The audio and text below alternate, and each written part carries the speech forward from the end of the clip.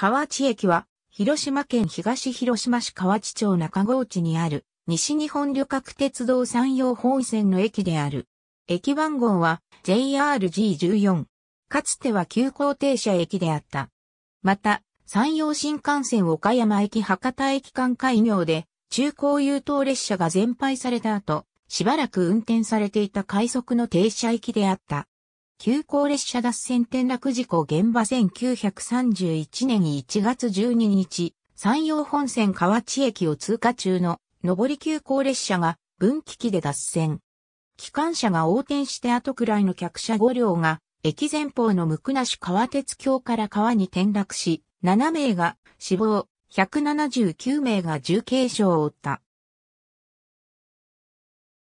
山陽線急行列車脱線転落事故を参照。死者の棺は、河内駅から列車で、広島駅と京里に運ばれた。現場付近では、日露戦争当時貨物列車が脱線転覆し、その後も単線運転時代に脱線転覆が起こり、この事故で3時は3度目で、場の場所と言われていた。単式ホーム一面一線と島式ホーム一面二線、合計2面3線のホームを持つ地上駅。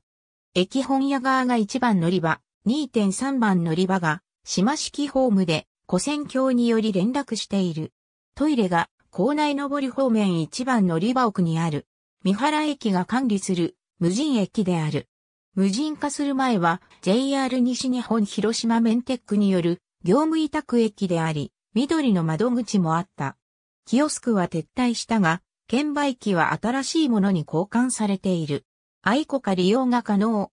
統計で見る東広島によると、1日平均乗車人員は以下の通りである。